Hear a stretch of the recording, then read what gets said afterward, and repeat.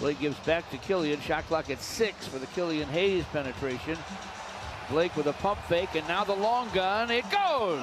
Whoa, man, what a start. Took his time. It's 8 7 Pistons. 9 and 44 to play in the first. Lob from Killian Hayes to Plumlee for a dunk.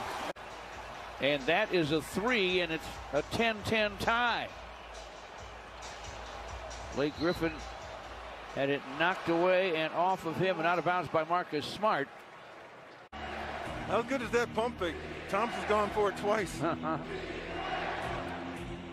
Running up the shot and missing. It's 14 all as Killian Hayes works outside. Gets a solid screen from Plumlee to the baseline. High glass, leaning gun goes for Killian Hayes. Well, they're knocking down some shots for sure.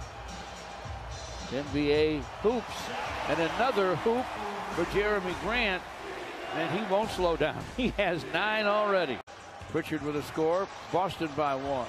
Pistons rush it up and get a score from, our, from Sekou Doumbouya. Delon Wright gets the screen, gives it up, and Killian Hayes fires and fills it from the corner. Swipe by Delon Wright. Killian Hayes' cross-court pass flicked away by Williams. Rising and go. Mason Plumlee boards it for Killian Hayes. Killian with a drive, cups it, flips it up. No. Killian Hayes stops at the foul line, misfires. Theis with a rebound. Jayson Tatum bounces it inside, and Tristan Thompson hung on long enough to. The Pistons have a two-point lead.